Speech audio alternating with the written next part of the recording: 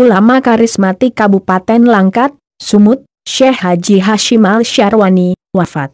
Cuan guru besilam itu wafat pada usia 82 tahun. Syekh Haji Hashim Al-Syarwani wafat di Rumah Sakit Colombia Medan, Sumut, pada pukul 11.30 menit WIB, Sabtu, 16 November 2019. Syekh Haji Hashim menjalani perawatan karena sakit di rumah sakit tersebut.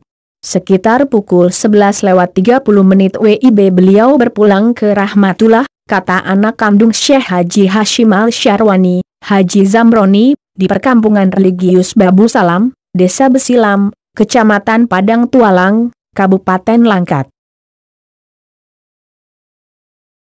La ilaha illallah, la ilaha illallah.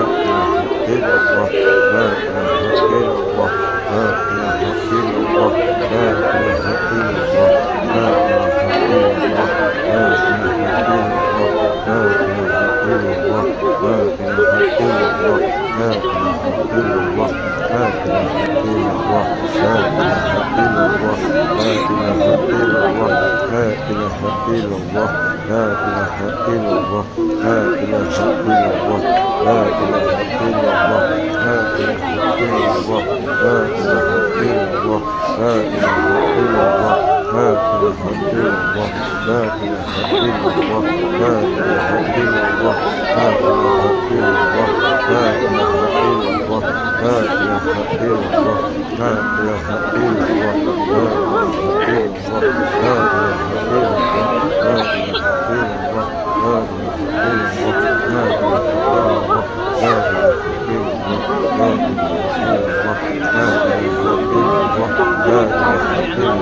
Yeah.